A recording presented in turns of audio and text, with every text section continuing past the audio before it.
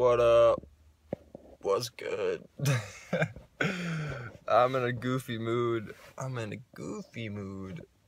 I just got, I just walked into Kroger and just stole all their mangoes. Well, they were three for a dollar, so basically I stole them. Walked out of there like I was, uh, like I was a criminal or something.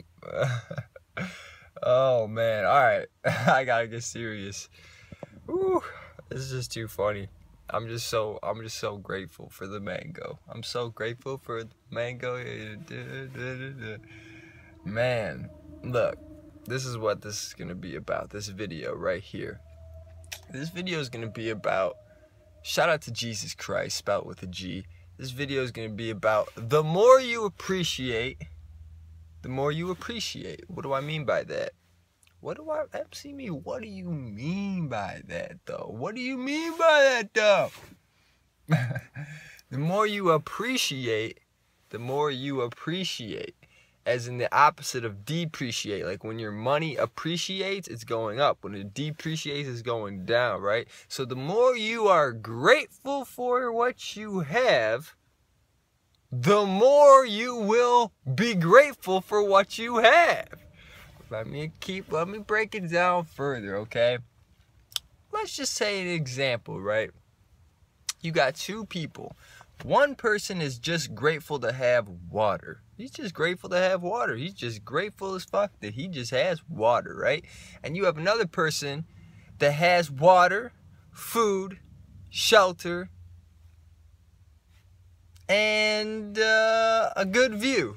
And he's not grateful right? He has every he has water, he has shelter, he has food, and he has an amazing view, but he's not grateful. Okay?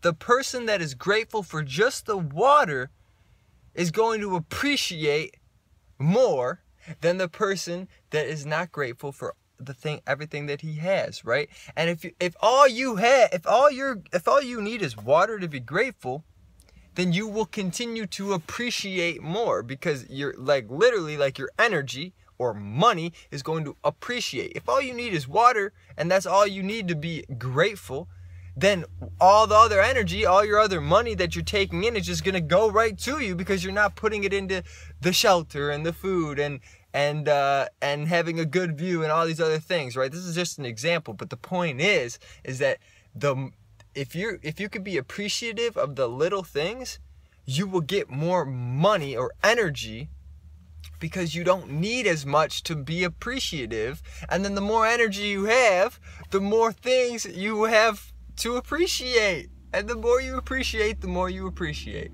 And that's that's the that's a magic that's a magic money maker tip. That's a magic moneymaker tip because one person can have a million dollars, a house overlooking the ocean, and have a personal chef, and another person can have a little hut at the top at the at the bottom of the hill with just water, rice, and beans, and that person can be 10 times happier than the person living in the mansion overlooking the ocean because the person in the mansion overlooking the ocean doesn't appreciate anything. So you have to be grateful or fill, filled with greatness. Once you're grateful, you will be filled with greatness.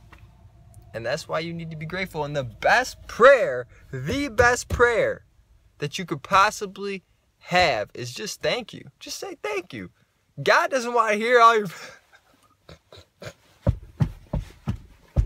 God doesn't want to hear your bullshit problems. Bitch, he doesn't care about your problems. Just say thank you. You're living, aren't you? Shit. Say thank you. you don't care about your bullshit. Just say thank you, please.